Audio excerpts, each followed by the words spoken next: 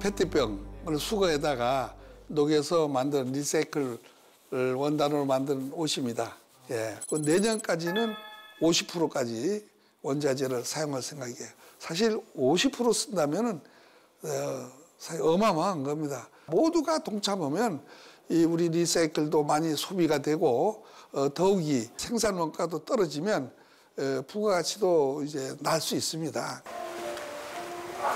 생산 단가는 높지만 기업의 친환경 경영으로 인해 플라스틱으로 인한 환경 오염은 그만큼 줄었습니다.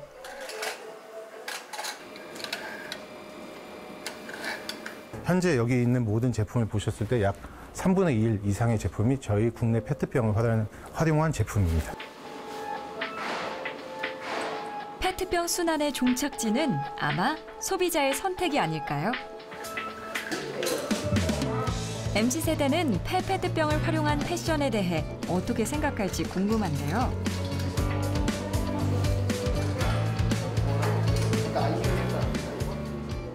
얘는 KPR 그게 안 써있네? 음, 그건 아닌가 봐요. 얘는 아니야. 이게 그건가? 이게 진짜 우리야. 옷을 입는 고 사고 버리는 것도 사실은 지구에 조- 좋은 환경은 아니잖아요.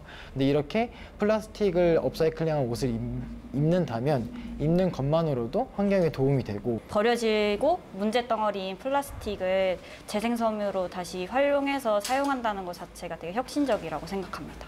업사이클링 제품들이 워낙 잘 나오다 보니까 비싸더라도 사, 사고 싶어지고 그런 친구들도 많고 이런 가치 소비도 많이 하다 보니까 이제 그런 면에 있어서 소비자들이 똑같은 제품이어도 환경을 위해서 힘쓰고 있고 노력하고 있는 기업의 서- 상품들을 더 소비하지 않을까 예상합니다.